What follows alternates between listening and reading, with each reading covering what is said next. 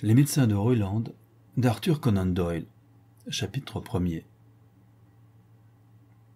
Le docteur James Ripley a toujours été regardé comme extraordinairement chanceux par tous les confrères qui l'ont connu. Son père l'avait précédé comme médecin au village de Hoyland, dans le nord du Hampshire, et le terrain était tout préparé pour lui le jour même où la loi lui permit de mettre son nom au bas d'une ordonnance. Peu d'années après, le vieillard se retira et s'établit sur la côte sud, laissant son fils en possession indisputée de toute cette partie du pays. En dehors du docteur Hurton, près de Basingstoke, le jeune chirurgien avait le champ libre jusqu'à six milles à la ronde, dans toutes les directions, et il se faisait ses quinze cents livres par an, quoique, comme il arrive généralement aux médecins de campagne, son écurie lui mangeât une bonne part de ce que lui rapportait son cabinet de consultation. Le docteur James Ripley avait trente-deux ans. Réservé, instruit, célibataire, il était d'un visage calme, plutôt sévère, ses cheveux noirs assez éclaircis sur le sommet de la tête, ce qui lui valait bien une centaine de livres par an. Il était particulièrement heureux dans ses rapports avec les dames. Il avait adopté avec elles un ton de fermeté caressante, de douceur résolue, qui les dominait sans les offenser. Cependant, les dames n'étaient pas également heureuses dans leur rapport avec lui. Professionnellement, il était toujours à leur service. Socialement, c'était une goutte de vif argent. En vain, les mamans étalaient-elles leur séduction devant lui. Dans ses pique-niques n'étaient pas de son goût, et dans ses rares moments de loisir, il préférait s'enfermer dans son cabinet et se plonger dans les archives de Virchow ou dans les journaux professionnels. L'étude était sa passion, ah, il ne se rouillait pas comme cela arrive souvent aux médecins de campagne. Il avait l'ambition de conserver ses connaissances aussi fraîches et aussi brillantes qu'au moment où il sortait de la salle d'examen. Il se vantait de pouvoir à tout instant aller droit aux sept ramifications de quelque artère obscure ou de donner le pourcentage exact de quelque composé physiologique. Après une longue journée de travail, il s'asseyait la moitié de la nuit à exécuter des réductions ou des extractions sur des yeux de mouton que lui envoyait le boucher du village, à l'horreur de sa femme de ménage, qui était obligée d'enlever les débris le lendemain matin. Son amour pour son travail était le seul fanatisme qui trouvait place dans sa nature sèche et précise. Chapitre 2 Il avait d'autant plus de mérite à tenir ses connaissances à jour qu'aucune concurrence ne l'obligeait à faire cet effort.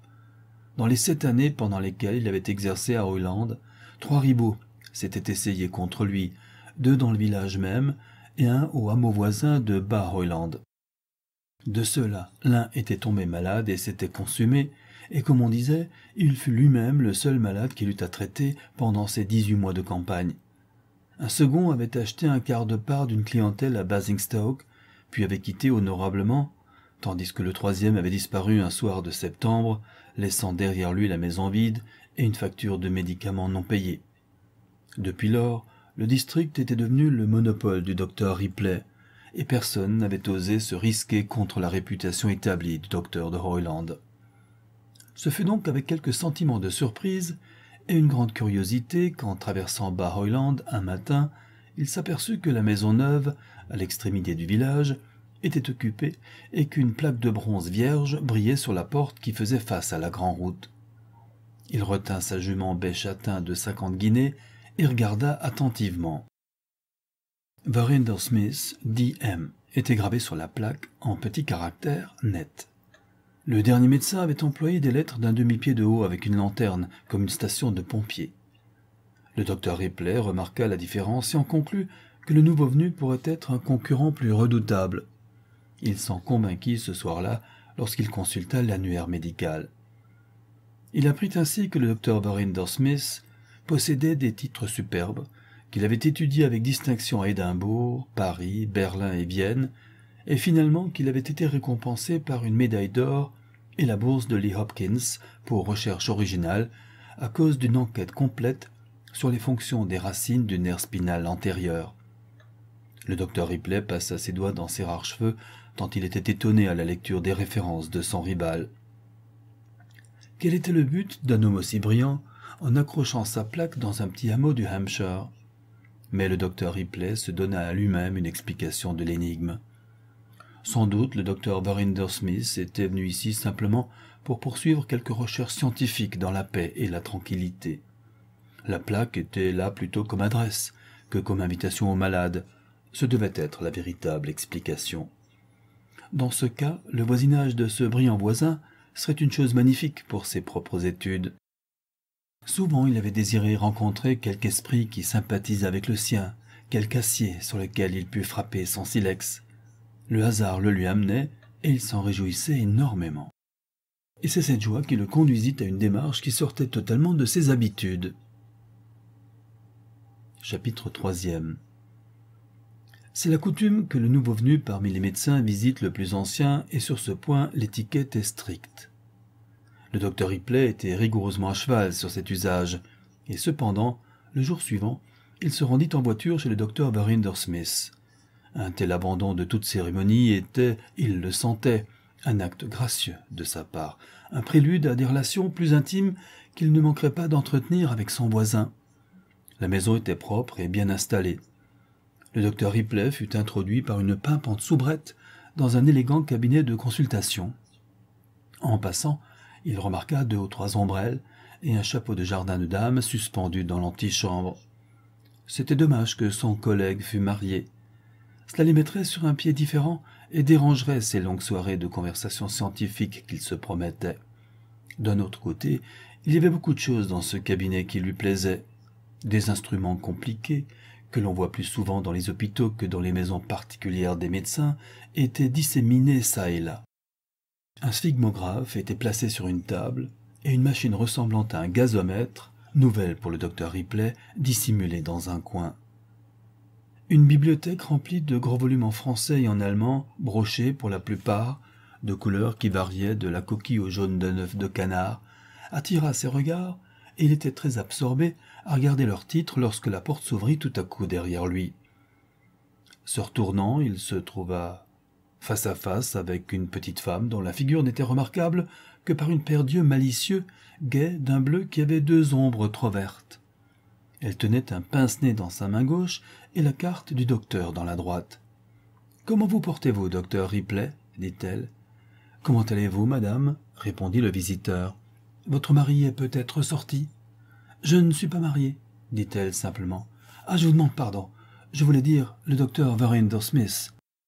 C'est moi, le docteur Verinder Smith. Le docteur Ripley fut si surpris qu'il laissa tomber son chapeau et oublia de le ramasser. Quoi? Le lauréat de Lee Hopkins, c'est vous? Jamais, jusque-là, il n'avait vu une femme docteur, et tout son être conservateur et attardé se révolta à cette idée. Il ne pouvait se rappeler aucun précepte de la Bible recommandant que l'homme fût toujours le docteur et la femme l'infirmière, et cependant, il lui semblait qu'un blasphème avait été commis. Son visage trahissait trop clairement ses sentiments. Je regrette de vous causer une déception, dit la dame sèchement. J'ai été certainement surpris, répondit-il en ramassant son chapeau. Alors vous n'êtes pas parmi nos défenseurs? Je ne puis dire que ce mouvement ait mon approbation. Et pourquoi? Je préférais ne pas discuter ce sujet. Mais je suis sûr que vous répondrez à la question d'une dame. Les dames courent le risque de perdre leurs privilèges lorsqu'elles usurpent la place de l'autre sexe. Elles ne peuvent tout demander. Pourquoi une femme ne gagnerait-elle pas son pain par son intelligence? Le docteur Ripley se sentit irrité par la tranquillité avec laquelle la dame lui posait ces questions. Je préférerais, mademoiselle Smith, ne pas être entraînée à une discussion.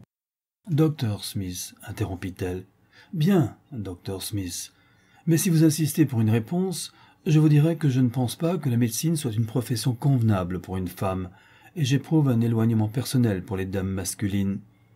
C'était là un propos par trop grossier, et il en eut honte sitôt qu'il l'eut prononcé. La dame cependant se contenta de lever les sourcils et de sourire. Il me semble que vous faites une pétition de principe, dit-elle. Certes, si cela rendait la femme masculine, elle y perdrait beaucoup. C'était une jolie riposte. Le docteur Ripley, en beau joueur, le reconnut en s'inclinant. Il faut que je me retire, dit-il. Je regrette que nous ne puissions arriver à une conclusion plus amicale, dit-elle, puisque nous devons être voisins. Il s'inclina de nouveau et fit un pas vers la porte. Par une singulière coïncidence, continua-t-elle, au moment où vous êtes entré, J'étais en train de lire votre travail sur l'ataxie locomotrice dans le Lancet. Vraiment dit-il sèchement. Je trouvais que c'était une excellente monographie. Vous êtes bien bonne. Mais les idées que vous attribuez au professeur Pitre de Bordeaux ont été répudiées par lui. J'ai sa publication de 1890, dit le docteur Ripley avec colère. Voici sa publication de 1891. Elle l'a pris au milieu d'un tas de journaux. Si vous avez le temps, jetez les yeux sur ce passage. Le docteur Ripley le lui prit des mains et parcourut rapidement le paragraphe qu'elle lui indiquait. Il n'y avait pas à nier que cela renversait de fond en comble son articulat. Il déposa le volume et sur un autre salut glacial se dirigea vers la porte. Quand il prit les rênes des mains du groom, il regarda autour de lui et vit que la dame était à sa fenêtre et lui sembla qu'elle riait de tout son cœur. Toute la journée il fut hanté par le souvenir de cette entrevue. Il sentait qu'il s'en était fort mal tiré. Elle s'était montrée supérieure à lui sur son sujet favori. Elle avait été polie, tandis qu'il avait été grossier, maîtresse d'elle-même, alors que lui s'était emporté. Et puis surtout, il y avait sa présence, sa monstrueuse intrusion, qui emprisonnait sa pensée. Une femme docteur avait été jusqu'alors pour lui une abstraction répugnante, mais distante. Maintenant elle était là, en plein exercice, avec une plaque de cuivre sur sa porte exactement comme la sienne. Il se disputerait les mêmes malades. Non qu'il craignît la concurrence, mais il regrettait cet abaissement de son idéal de la femme. Elle ne devait pas avoir plus de trente ans, elle avait une figure intelligente, mobile. Il songeait à ses yeux moqueurs, à son menton bien fait et fort. Ce qui lui révoltait le plus, c'était de songer aux détails de son éducation. Un homme, certes, peut sortir de cette épreuve avec toute sa pureté, mais elle est pleine de honte pour une femme. Chapitre quatrième Il ne fut cependant pas long à s'apercevoir que la concurrence de sa voisine devait être redoutée.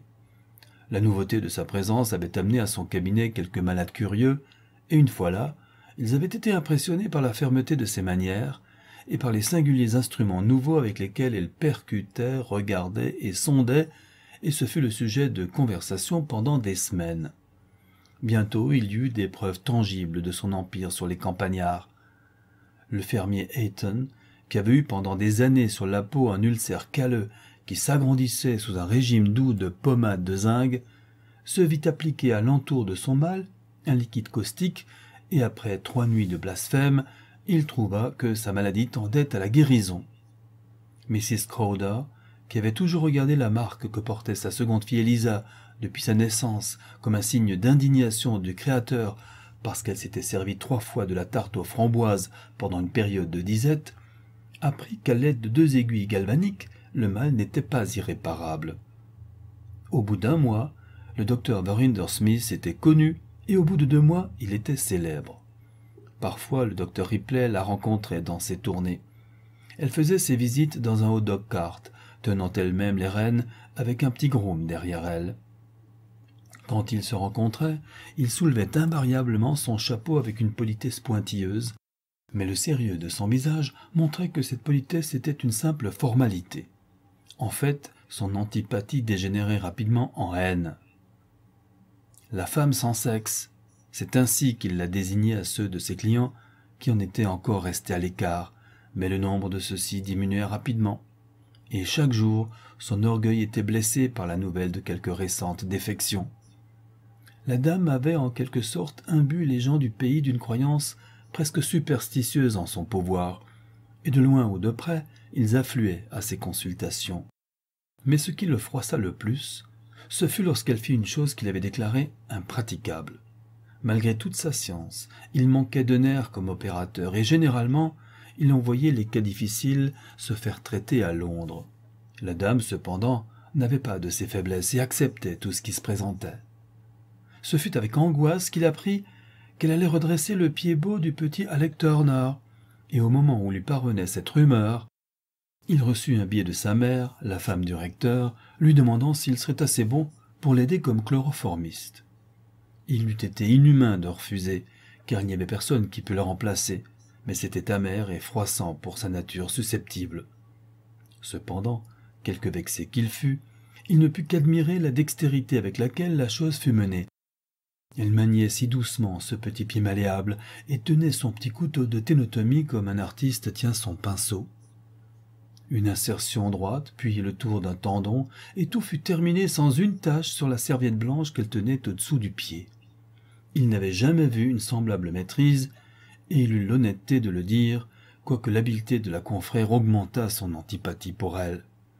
L'opération étendit la réputation du docteur Smith encore plus loin, à ses dépens, et le sentiment de ses intérêts s'ajouta aux autres motifs qu'il avait pour la détester. Et ce fut cette haine même qui mena les choses à un point singulier. Chapitre 5 Un soir d'hiver, au moment où il se levait de dîner solitaire, un domestique arriva à cheval de chez le squire Faircastle, l'homme le plus riche du district, pour lui dire que Miss Faircastle s'était ébouillanté la main et qu'on avait besoin du secours immédiat d'un médecin. Le domestique avait couru chez la doctoresse, car il importait peu au squire qui viendrait, pourvu qu'on vînt vite. Le docteur Ripley s'élança hors de son cabinet, décidé à ne pas permettre qu'elle pénétrât dans cette forteresse qui lui appartenait, si une course rapide de sa part pouvait l'empêcher. Il n'attendit même pas que ses lanternes fussent allumées. Il sauta dans son cabriolet et partit avec toute la rapidité que ses chevaux lui permettaient. Il habitait plus près de la maison du squire qu'elle, il était convaincu qu'il arriverait bon premier. Et il n'en eût été ainsi sans un de ces caprices du hasard qui embrouillent toujours les affaires de ce monde et confondent les prophètes. Soit à cause de l'absence de ses lanternes, soit à cause de son esprit rempli de la pensée de sa rivale, il manqua d'un demi-pied le tournant brusque de la route de Basingstoke.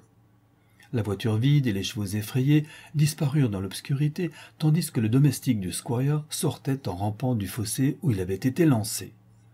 Il frotta une allumette et regarda son compagnon qui gémissait, et alors, ainsi qu'il arrive aux hommes rudes et forts, lorsqu'il voit ce qu'il n'avait pas vu avant, il se sentit très bouleversé. Le docteur se souleva un peu sur son coude. À la lueur de l'allumette, il aperçut quelque chose de blanc et de pointu qui faisait saillie à travers la jambe de son pantalon vers le milieu du tibia. Bien arrangé, gémit-il, l'affaire de trois mois. Et il s'évanouit. Quand il revint à lui, le domestique était parti.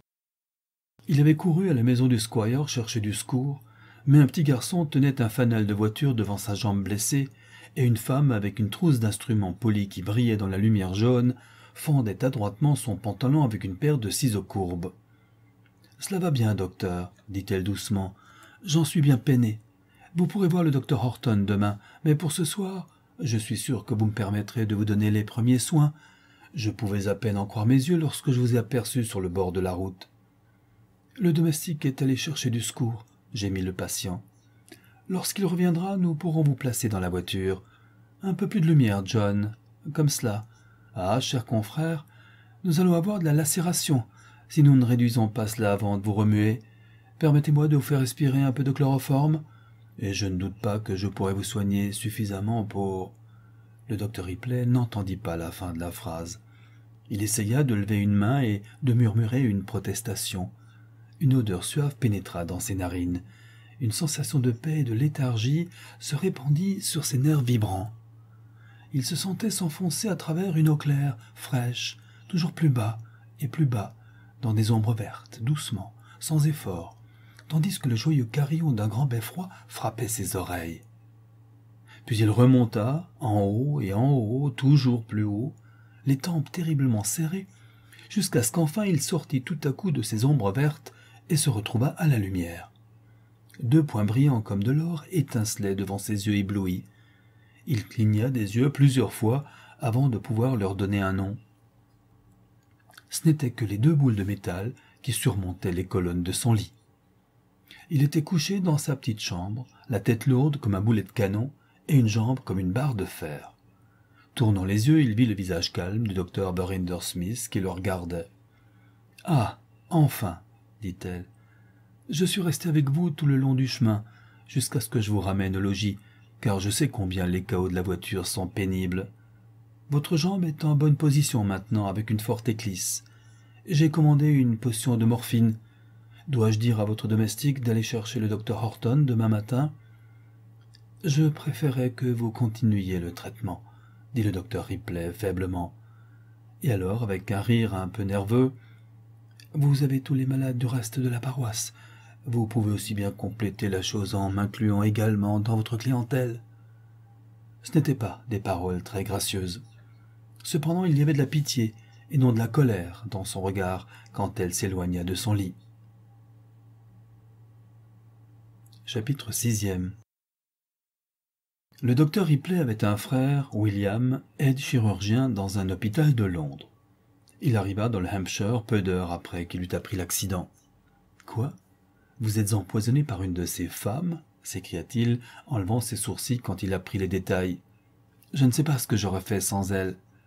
Je ne doute pas que ce ne soit une excellente infirmière. Elle connaît son affaire comme vous et moi. Parlez pour vous, James, dit l'homme de Londres en reniflant, mais vous savez que la chose est fausse, en principe. Vous croyez qu'il n'y a rien à dire contre le préjugé? Ciel, le feriez-vous? Eh bien, je ne sais pas. J'ai été frappé cette nuit de l'idée que nos vues sont un peu étroites. Absurde, James. Il est très beau pour des femmes de gagner des prix dans les bibliothèques, mais vous savez aussi bien que moi qu'elles sont bonnes à rien. Quand il survient quelque complication, eh bien je garantis que cette femme était tout nerf lorsqu'elle a remis votre jambe. Cela me rappelle que je ferais mieux de l'examiner de voir si tout va bien. Je préférais que vous n'y touchiez pas, dit le malade. Elle m'assurait que tout était bien. William était profondément choqué. Parfaitement. Si l'assurance d'une femme a plus de valeur que l'opinion de l'interne d'un hôpital de Londres, il n'y a rien à ajouter dit-il. J'aime mieux que vous n'y touchiez pas, dit le malade avec fermeté. Et le docteur William retourna à Londres ce même jour dans un accès de colère. La dame qui avait appris son arrivée fut très étonnée de le voir reparti. Nous avons une discussion sur un point d'étiquette professionnelle, dit le docteur James. Et ce fut la seule explication qu'il donna. Chapitre 7 Pendant deux longs mois, le docteur Ripley fut en contact journalier avec sa rivale, et il apprit beaucoup de choses qu'il ne savait pas jusque-là. C'était une compagne charmante, en même temps que le plus assidu des docteurs. Ses courtes visites, pendant ses longs jours ennuyeux, étaient comme une fleur dans un désert de sable. Ce qui l'intéressait lui était précisément ce qui l'intéressait elle, et ils se mettaient d'accord sur chaque point. Et cependant, sous toute sa science et toute sa fermeté, on sentait une nature douce et féminine qui transparaissait dans son langage, brillait dans ses yeux verdâtres, se manifestait par mille voix subtiles que l'homme le plus obtus pouvait discerner. Et lui, quoiqu'un peu vaniteux et pédant, était loin d'être sot et avait l'honnêteté de reconnaître ses erreurs. Je ne sais comment m'excuser auprès de vous, dit-il un jour d'un air honteux, quand il fut assez bien pour s'asseoir dans un fauteuil, les jambes croisées, je comprends que je me suis complètement trompé. En quoi donc? Sur la question des femmes médecins. Je m'étais habitué à penser qu'une femme devait inévitablement perdre son charme dès qu'elle aborderait de semblables études. Oh Vous ne croyez plus qu'elles sont nécessairement sans sexe s'écria-t-elle avec un sourire malicieux. Je vous en prie, ne me rappelez plus cette expression stupide. Je suis bien heureuse d'avoir pu vous aider à modifier votre manière de voir. Je pense que c'est le plus sincère compliment dont j'ai jamais été gratifié. De toute façon, c'est la vérité, dit-il. Et toute la soirée, il fut heureux au souvenir de la rougeur de plaisir qui couvrit son visage et la rendit plus belle à voir pendant un moment. Certes, il n'en était plus au point de la reconnaître comme l'égale de toute autre femme. Déjà, il ne pouvait plus se dissimuler qu'elle était la vraie femme. Son habileté, son tact, sa douce présence, la communauté de leur goût, tous s'étaient unis pour renverser irrévocablement ses préventions. Ce fut un jour sombre pour lui que celui où sa convalescence permit à son gracieux docteur de manquer une visite, et un jour plus sombre encore, celui qu'il voyait approcher, où il n'y aurait plus de motif à ses visites. Il arriva enfin, cependant, et il sentit que le sort de sa vie dépendrait de l'issue de cette dernière entrevue. Par nature, c'était un homme qui allait droit au but. Il posa sa main sur les siennes quand elle prit son pouls et lui demanda s'il voulait être sa femme. Quoi? Et partager la clientèle? dit-elle. Il eut un sursaut de peine et de colère. Sûrement, vous ne m'attribuez pas un motif aussi vil s'écria-t-il. Je vous aime avec autant de désintéressement qu'une femme a jamais été aimée. Non, j'ai eu tort. C'est une parole inconsidérée. Dit-elle en reculant un peu sa chaise et tapotant son stéthoscope sur ses genoux. Oubliez que je ne l'ai jamais prononcé. Je suis triste de vous causer une déception, et j'apprécie hautement l'honneur que vous me faites, mais ce que vous me demandez est absolument impossible. Avec une autre femme, il aurait pu insister, mais son instinct lui dit que c'était tout à fait inutile avec celle-ci. Son ton de voix était concluant. Il ne dit rien et s'appuya sur le dossier de sa chaise comme un homme abattu. Je le regrette bien, dit-elle de nouveau. Si j'avais su ce qui se passait dans votre esprit, je vous aurais dit plus tôt que je me propose de consacrer ma vie tout entière à la science. Il y a beaucoup de femmes qui ont la vocation du mariage, mais il y en a peu qui aient du goût pour la biologie. Je veux rester fidèle à ma profession. Je suis venu ici pour attendre une place au laboratoire de physiologie de Paris. Je viens d'apprendre qu'il y a une vacance pour moi, de sorte que vous ne serez plus gêné par mon intrusion dans votre clientèle. J'étais injuste envers vous comme vous l'avez été envers moi. Je vous ai cru un esprit étroit et pédant, dépourvu de bonne qualité. J'ai appris pendant votre maladie à mieux vous apprécier, et le souvenir de votre amitié me sera toujours agréable. Et c'est ainsi qu'il arriva que, peu de semaines après, il n'y avait plus qu'un médecin à Hollande. Mais on remarqua qu'il avait vieilli de plusieurs années en quelques mois, qu'une tristesse se lisait toujours dans les profondeurs de ses yeux bleus, et qu'il faisait aussi peu de cas que jamais des jeunes personnes que le hasard ou leurs mères attentives plaçaient sur son chemin. Ainsi se terminent Les médecins de Hoyland d'Arthur Conan Doyle.